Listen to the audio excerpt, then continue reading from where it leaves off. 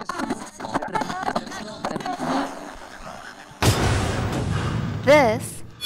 is the Stealth Cast. Let's do this.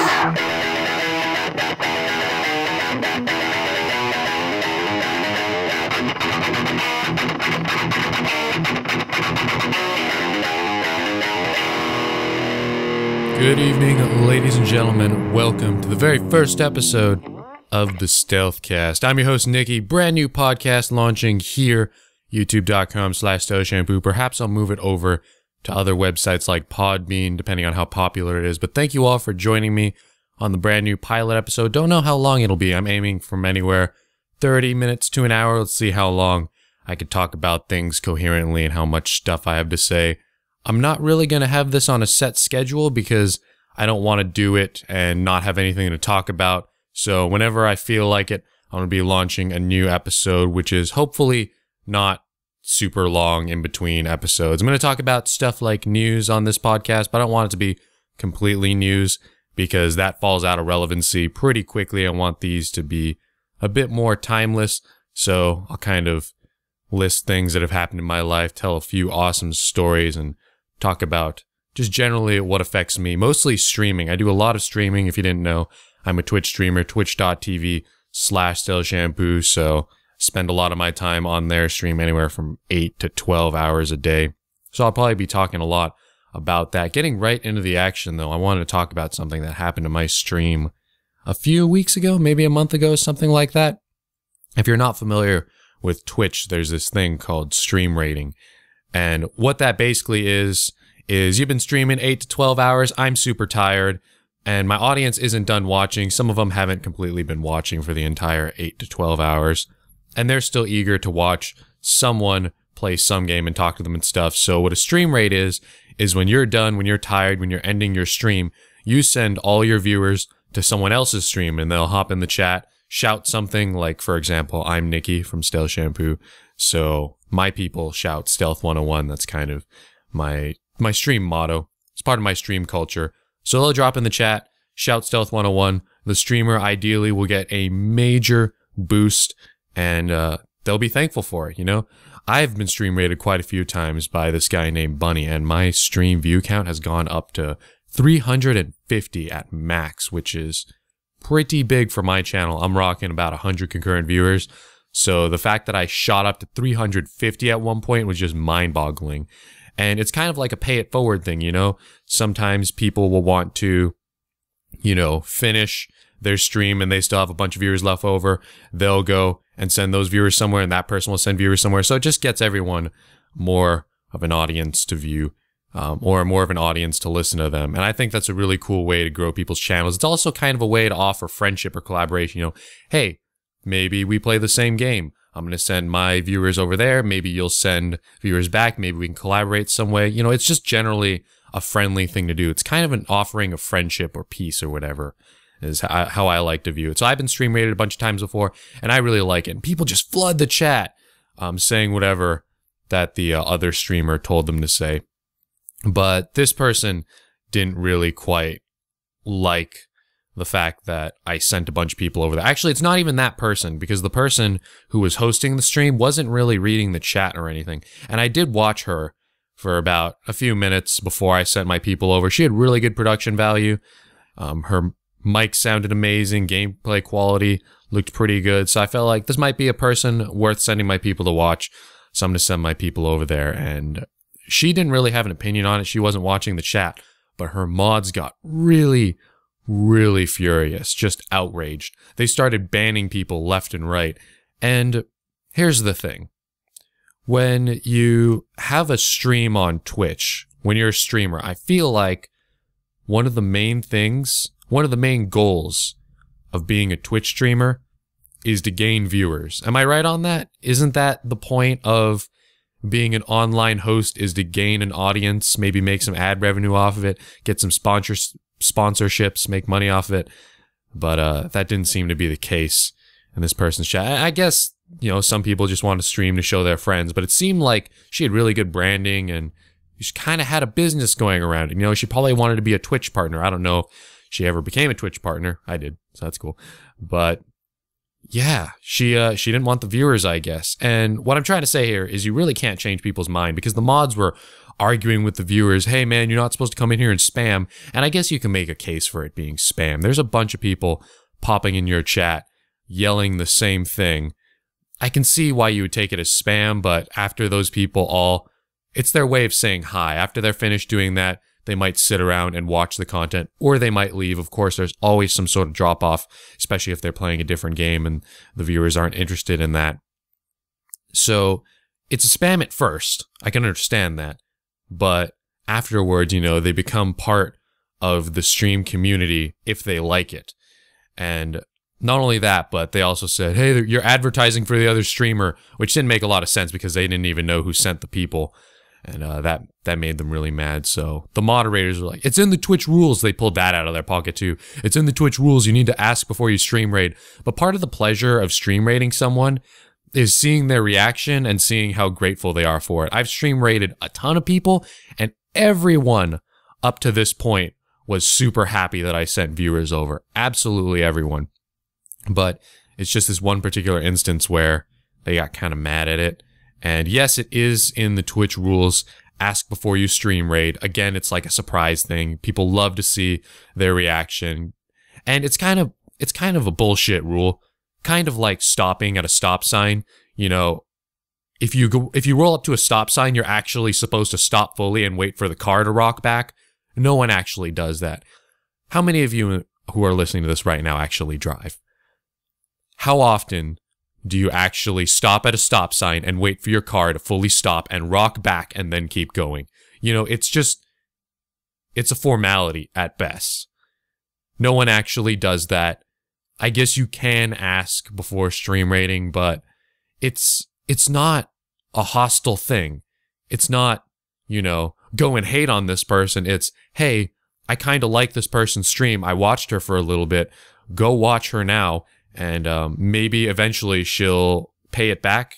You know, I don't always expect them to pay it back, but that would be nice, or pay it forward so that everyone grows. You know, it's collaboration, and that's one uh, way to help grow your stream. And I haven't really done a good job on that as a streamer. I don't really collaborate with a lot of other streamers, probably because I stream in a very small category playing The Last of Us. But in other YouTube, Twitch news, this just hit today.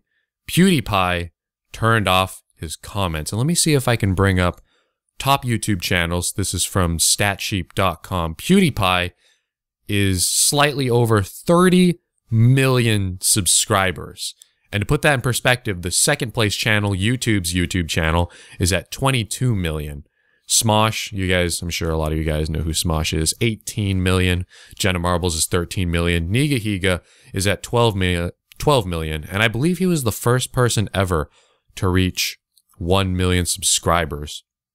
So PewDiePie, who has over 30 million subscribers, is the biggest channel on YouTube, which I believe is the top, if not one of the three most top, uh, three top trafficked sites on the internet. PewDiePie turned off the comments in his YouTube video, and I can understand why. I've, I'm a person who works on the internet. It's a volatile place. It's a hurtful, angry, rage filled place where people have extreme opinions. And there's a vocal, hateful minority that always leaves comments on their videos. And it's human nature to focus on the bad and not the good. You know, how many times do you remember getting a bad spawn in a video game versus how many times you got a good spawn? You never remember the good spawns. You always remember the bad ones. PewDiePie, being a human being, will remember and read the bad comments and uh, also, you're more inclined to comment if you hate the video. You know, how often do you watch a video? You know, you might drop a like. Are you going to leave a comment? Not all the time. There's a vocal, angry minority who are just filling the comment section of YouTube. And that Google Plus bullshit didn't do anything.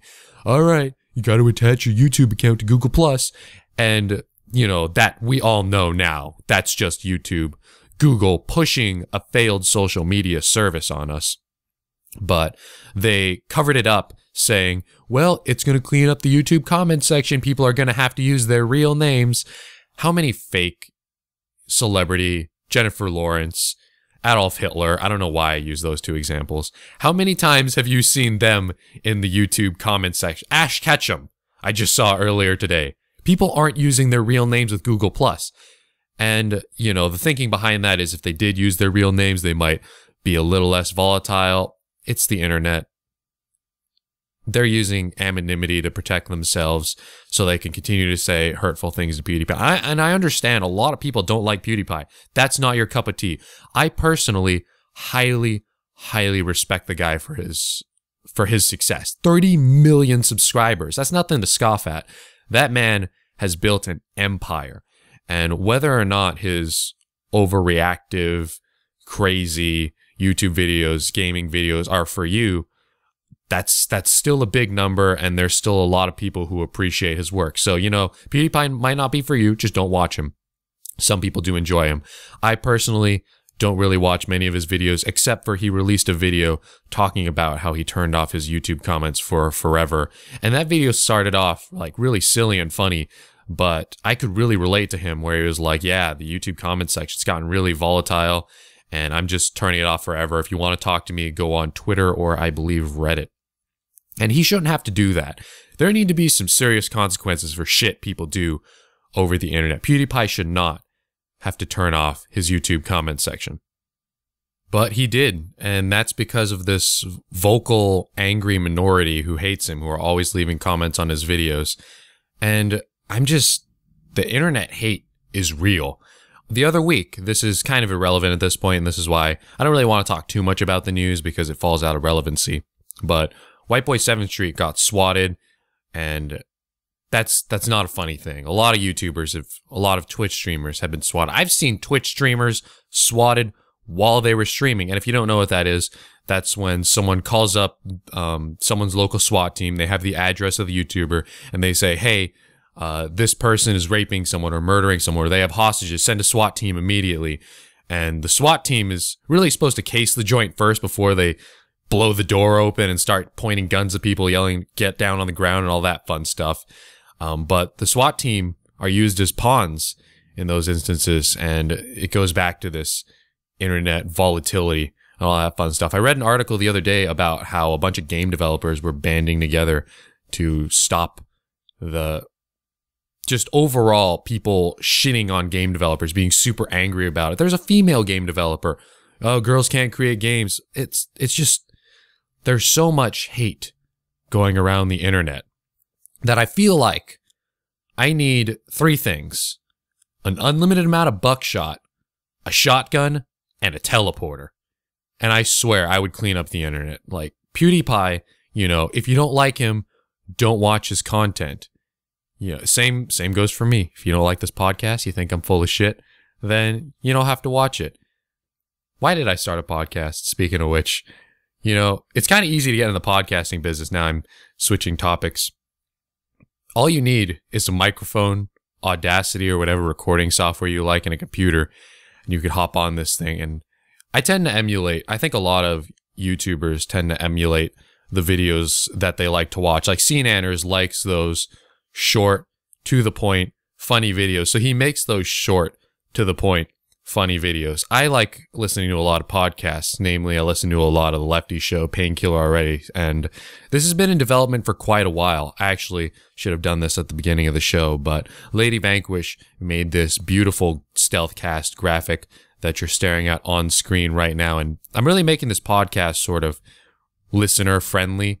You know, I'm I'm not putting anything on the screen for two reasons. Number one, it really really reduces the uh, render time on these. I only have to render out audio and a still image. So it'll help me very quickly get these episodes out, especially if they're really long. Rendering an hour, half an hour long video takes forever on top of my normal workload, uh, as well as you can listen to it in the car on your iPhone and hopefully not have to you know, feel like you need to be looking at the screen. You're going to miss me doing something funny with my face. And I could do it in my pajamas. I am wearing my pajamas right now. I don't have to dress up and look nice. Actually, no, I'm wearing a, if there are any ladies listening to my podcast, I have my hair gelled back and I'm wearing a suit and tie.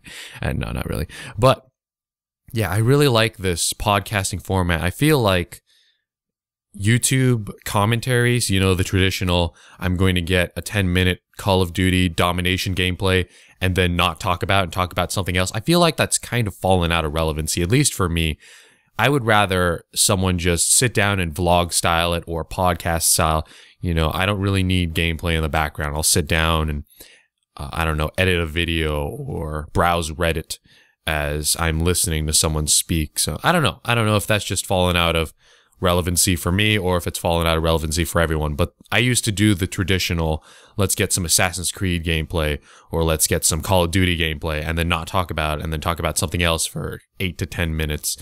Whereas, you know, you can't really chain together topics like a podcast style, like who's going to watch 30 minutes of COD. I'm going to have to get a bunch of games for that. And it's just much easier for me to get this blank still image and have this nice in your ear audio quality. I hope my audio quality is good enough. I bought a lot of audio equipment for this, few hundred dollars of stuff. I got my Audio Technica AT 2050 and I got a mixer over here. I believe this is the same microphone they use for the Rooster Teeth podcast. So I hope my production is actually, I probably can't beat Rooster Teeth. I'm just some idiot on the internet talking into a microphone, hoping someone's going to listen. And I'm planning on go- going on with this show for at least a few episodes. Let's see how it'll go. And maybe if it's really popular, I'll put it on Podbean. From what I understand, they have an app for you to use that you can, uh, you know, search for podcast on there and listen to whatever you want. So that'll be fun. If you want to listen to it in the car, you can already do it. Just go on YouTube. But if you want it on Podbean, maybe I'll move it on there later.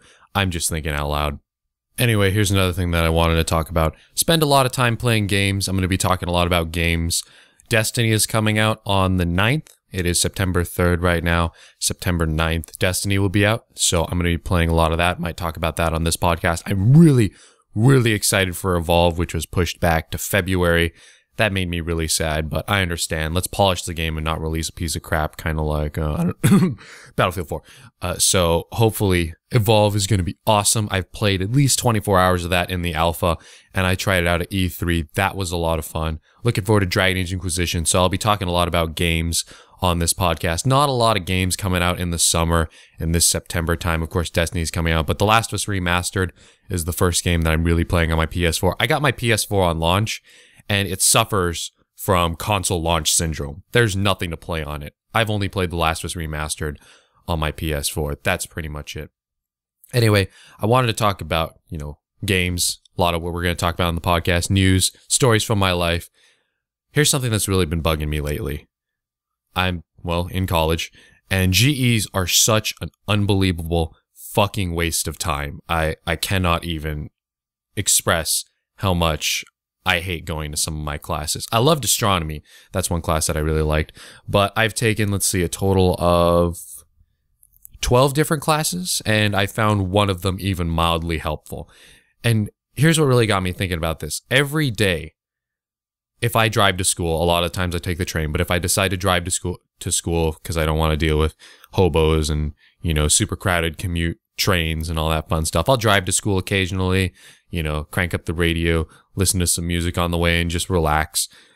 Every day when I drive to school though, I have to pass up a cemetery and it just really opens my eyes to how much of a waste of time this is. And I understand why they have GEs, you know, it's because a lot of people don't know what they want to do at my age. I'm 19. Not a lot of people know what they want to be when they grow up. What is it? People change their major. I might be pulling this statistic out of my ass seven times before they actually settle on the major that they actually want to major in. I was lucky enough to figure out what I wanted to do when I was in eighth grade. How old was I? 12, 13? Uh, I always loved filmmaking and, well, radio, television. It's kind of it's kind of broad the things I like: podcasting, filming, hosting a stream. You know, that production work uh, behind the scenes is something that I just found myself naturally good at. And I'm not I'm not like, "Oh, I found out what I like to do, so I'm the best." No. It's just I got lucky. If I could pass up all these basic classes like geology, when am I ever going to use that?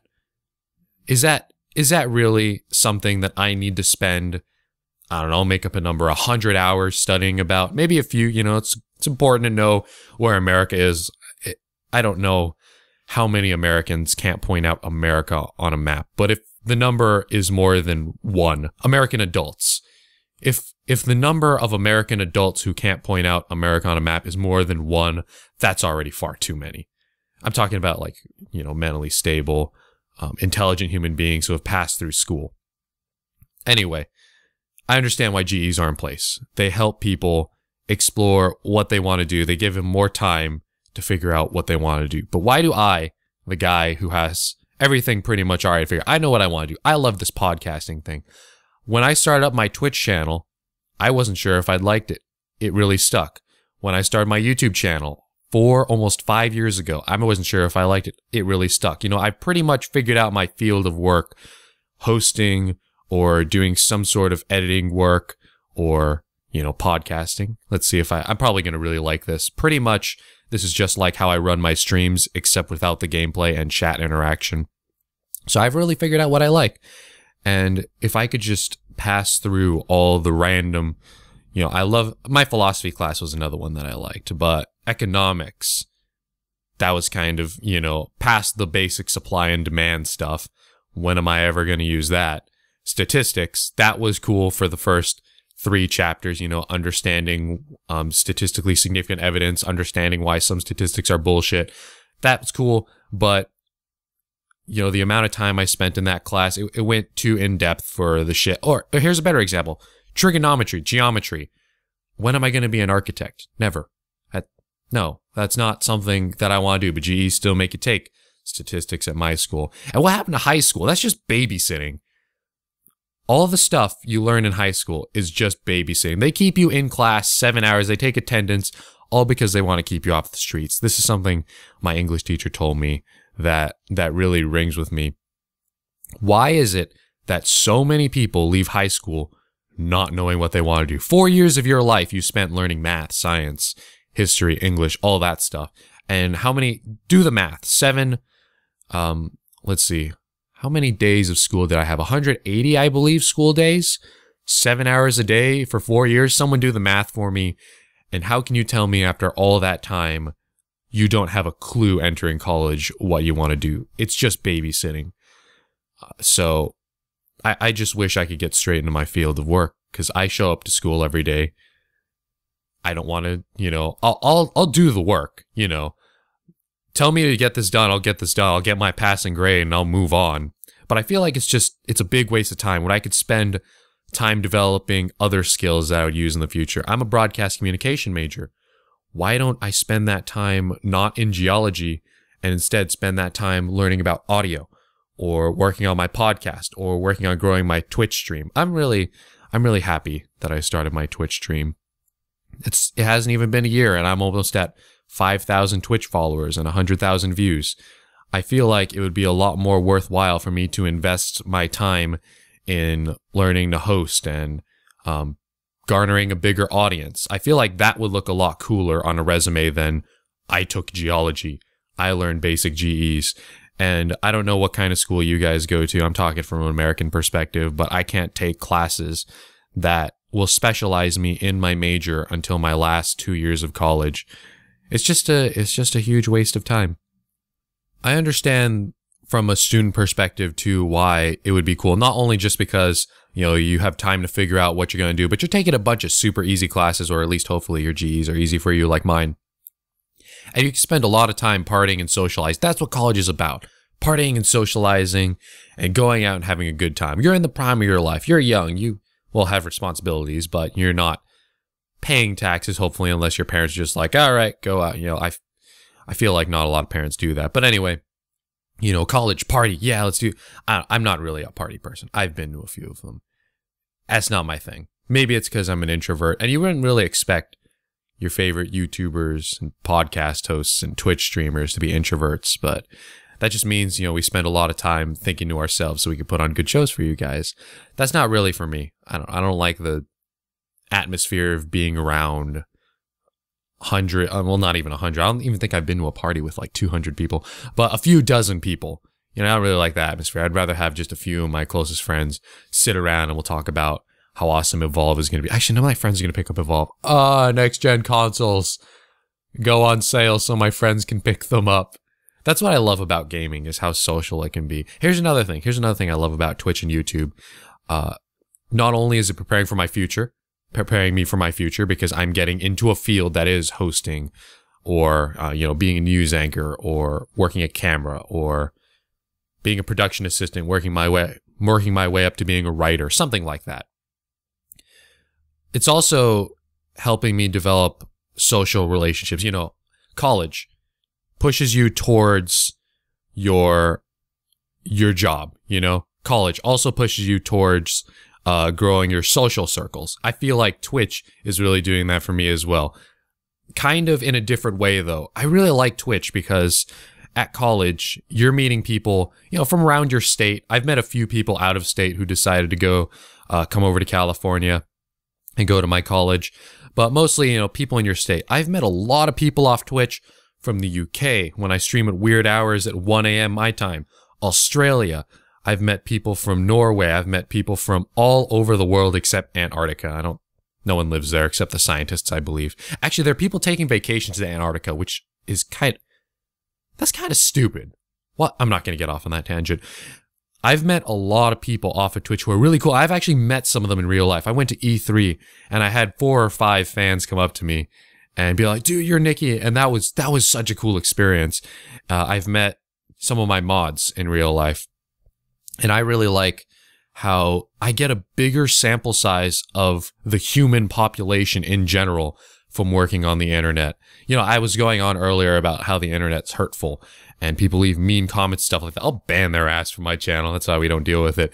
The cool people you do meet though, you know, the people who will share their experience, older people, you know, I, I know some people who have kids and have different insights than me. I've spoken to those people on my Twitch channel. I've spoken to people who are police officers. And are you going to meet an aspiring police officer at a college party? At least I haven't. Or someone who's actually already a police officer, because I've met a bunch of those people. I've met people who work in hotels, pharmacies, you know, everywhere. A lot of different people. And I feel like that's growing my social circle a lot stronger than college would have. And the fact that I'm already doing what I'm planning on doing when I grow up is pushing me forward than college because college GEs are just complete bullshit and a waste of time. So basically what I'm saying is we need Freddie Wong's video game high school.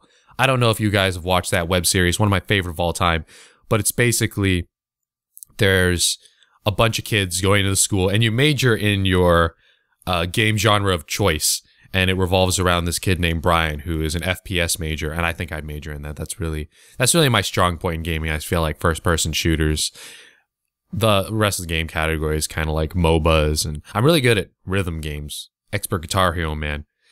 Uh, stuff like that. Racing games, not so much. But I think I would major in FPS and, I don't know, maybe minor in rhythm games. I think that'd be a really, really fun thing to do if you could. I was talking about this on my stream. If someone could develop a software that lumped games into genres Battlefield, COD, The Last of Us, Crysis. Those games would be in the shooter category. Guitar Hero, Rock Band, Osu, games like that would be in the rhythm category. And then you'd have Mario Kart, Gran Turismo, The Crew in the racing category. And somehow have some sort of accurate algorithm. Algor- algorithms aren't perfect, but have some sort of algorithm that would make it so that it could determine how good you were at every genre of game and then make it so they rated you uh, on a scale of like 1 to 10, like you're in the top 10 percentile, you're 10 out of 10 at FPS, but maybe you're like 8 out of 10 in rhythm games and 2 out of 10 in racing games or like 6 out of 10 in fighting games, something like that. I think that would be pretty cool. Anyway, I guess I kind of described private school right there, but man, that's expensive. Man, call it. I just, right before I started doing this podcast, I spent like 200 bucks on textbooks, which is absurd. Why, America? Why can't we be like Europe and not screw our students over before they get into the workforce, you know, before they get their actual job? Can we maybe not make them go into incredible loans, go through incredible loans, get into some incredible debt to go through schooling so they can be a contributing member to society? Can we not make the cost of being a contributing member of society so high? That's what I'm asking for. I, don't think that's too much to ask for, right? Yeah, I don't think so. Video Game High School, though. I think they're coming out with season three pretty soon. I'm going to be watching that. I would recommend Nikki's recommendation. Maybe I should do this every week. I don't know. I would recommend watching that web series. It was really awesome. I think there are only two seasons out right now, and the third one is coming out soon. So if you have something, you know, if you have some time to fill after listening to this awesome podcast, maybe go check that out. In other news, America has a highly militarized police force who is highly irresponsible. I want to talk about this article that I found. I'll try to remember to link it down in the description. That is absolutely hilarious and sad. How does a police department lose a Humvee? Here we go. Arkansas, a young man pretty much just GTA 5'd a police Humvee. And, and here's the thing that, that drives me crazy here. A Humvee, the Humvee, which, this is straight from the article, the Humvee which the town of fewer than 700 people got for free through a controversial Pentagon program that gives old military equipment to local police departments doesn't have keys, but it's easy to look up how to start one. You're telling me, you're telling me a town with fewer than 700 people needs a police with a Humvee, and those police are irresponsible enough to have the Humvee stolen. It's a it's a five thousand not five it's a five thousand yeah five thousand pound vehicle five ton armored vehicle. You got that stolen from your police department. You know what I say if I'm head of the Pentagon at that point? First off, I punch myself in the face for even thinking that our police need Humvees.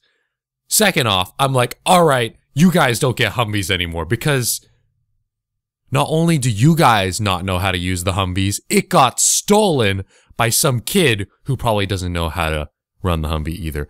Let me scroll down in the article really quick right here. Of course, they managed to find it and the thief had driven it into a tree and completely wrecked it. I'm hoping, I'm hoping the thief did this on purpose, thinking these police really don't need this Humvee. Let me go destroy it. I'm glad he did that rather than getting on the gun on top of it and going on some murderous rampage.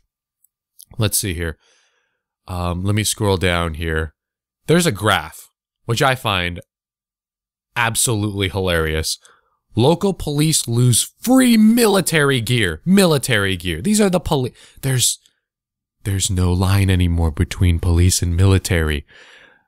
Here, here's the stuff the police have lost. 21 pistols, 11 M14s, 14 M16s, 10 shotguns, and four Humvees. This isn't the first Humvee that the mil, oh, excuse me, the police have lost. They've lost four Humvees. Where are these just like parked on the street? They don't have these locked up. Why do they even have them in the first place? And now they're losing them. Let's see. Do do do. Let me scroll down the article right here. This is the paragraph that really gets me. But penalties for disappearing equipment are minimal. Police departments that lose assault rifles are not allowed to get any new gear from the uh, the program, but are not required to return any equipment they already received. Do do do. Uh, for example, Sheriff Joe, I don't know how to pronounce. I'm just gonna call him Joe.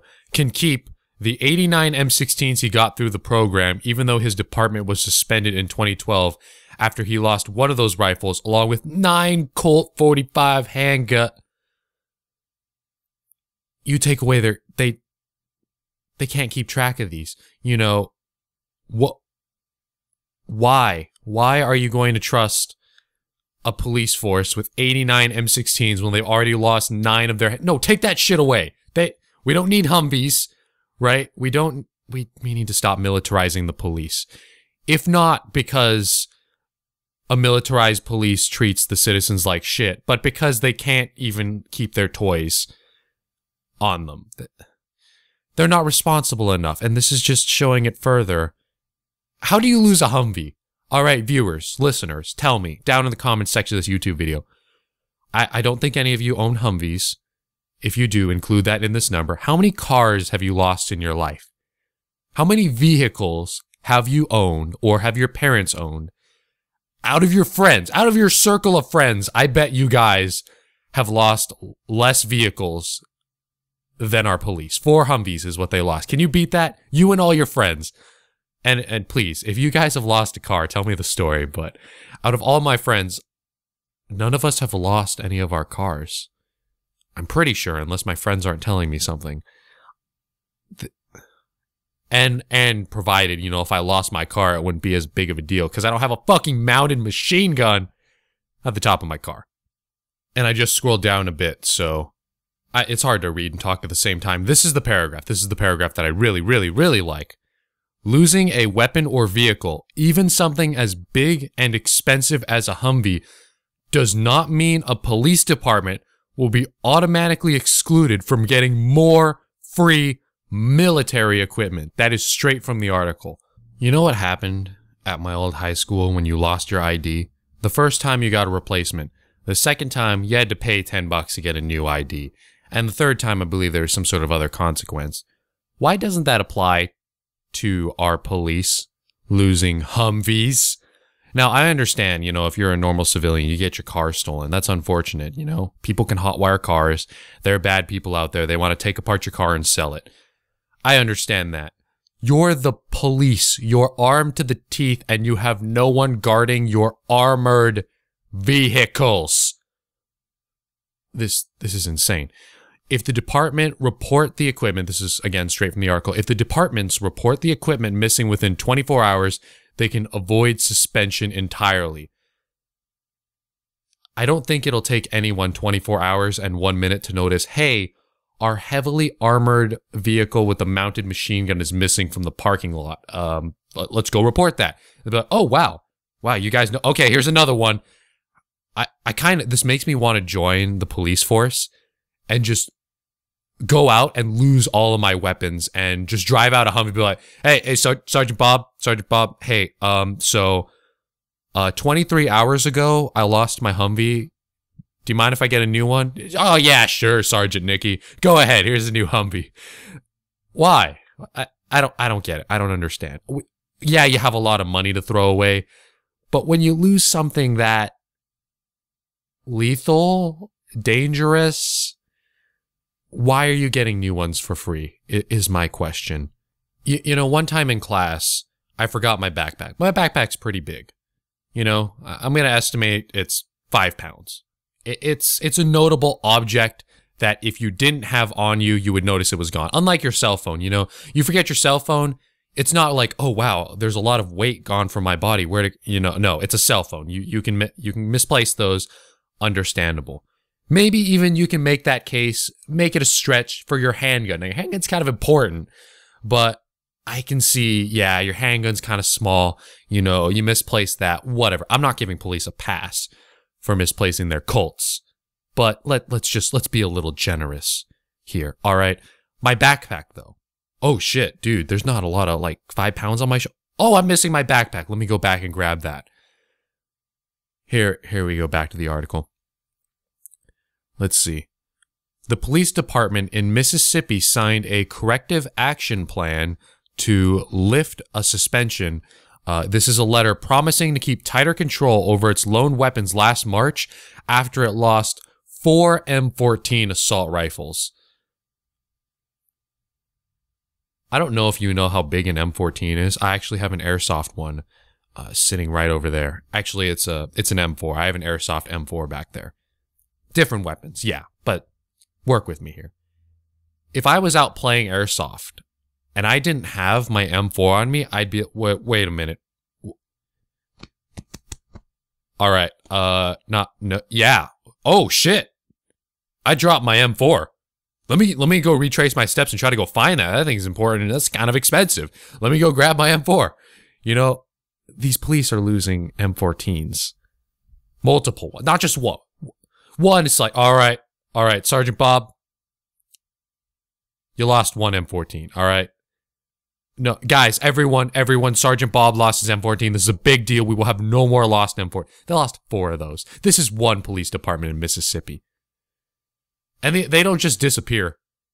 Well, some, some little kid on the street picks it up and great, now little kid's got an M14. I don't know how they lose these things. What, are they breaching and clearing a house you know, they stick it against the door frame and, and just like, oh, all right, there's, there's no one here. Bye. And they just left their M14 there. I don't know. Are police really carrying that much? They got their taser. They got their, I don't know what police carry. But I feel like if something like an M14 were missing from your body, you would notice. Unlike your phone, your phone, you, people lose those all the time. Your sunglasses, I've lost quite a few of those. I've played airsoft a few times, and uh, pistol's not on my hip. Oh crap! Oh, it's over. I it fell out of the holster, and I bought a better holster. I have this nice Kydex holster for my KWA M93R, and it is awesome. I love it. Probably talk about airsoft on the stream a little bit if I ever go play another another round. I don't really like summer airsoft sucks. It's like really it's hot outside. Get all sweaty. I don't have the best cardio ever. I really should go play airsoft again, but for the for those of you listening who play airsoft, do you go by yourself or do you have a squad? Because my friends aren't really trained. They're not really good at airsoft and they're not always available. So usually I have to end up going by myself and just teaming up with whoever's there. Is that do you find that to be effective? Are a lot of fields in your area friendly? Do you live in California also? And can you recommend any fields? Or do you always bring your squad? I don't really have a squad. A lot of people who play airsoft are police officers, military veterans. Oh man, the first time I played airsoft, I was going up against some some guys straight from Iraq. Just got back. They were a bit better than me. Anyway, let's close out the show. Let's close this first episode of Stealthcast out.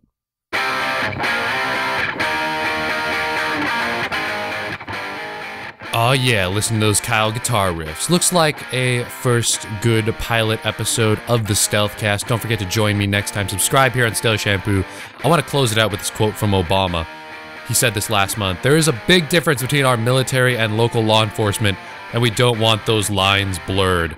Yeah, you're doing a you're doing a good job on that, Obama. I'm not, you know, I don't just blindly hate on the guy. I like him, some of the things he does, don't like some of the other stuff he does. Whatever. Anyway, be sure to subscribe here on YouTube for more Stealthcast. Join me for my live streams, twitch.tv slash stealthshampoo. All these links will be down below the video player in the description.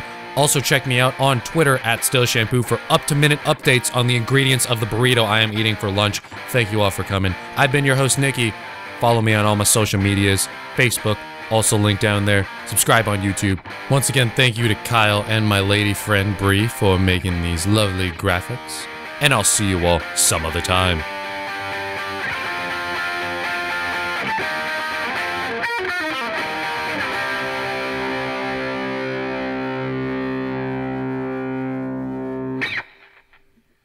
Small children